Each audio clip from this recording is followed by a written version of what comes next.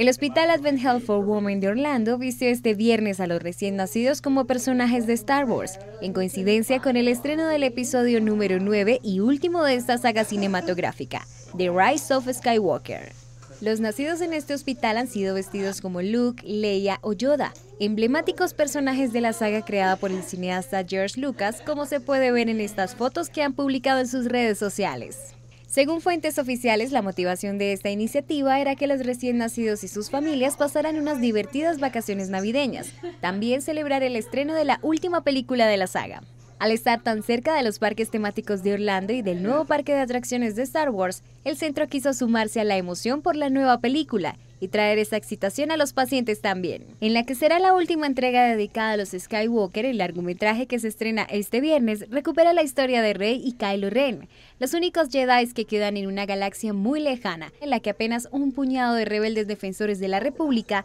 se tendrán que enfrentar a la poderosa Primera Orden.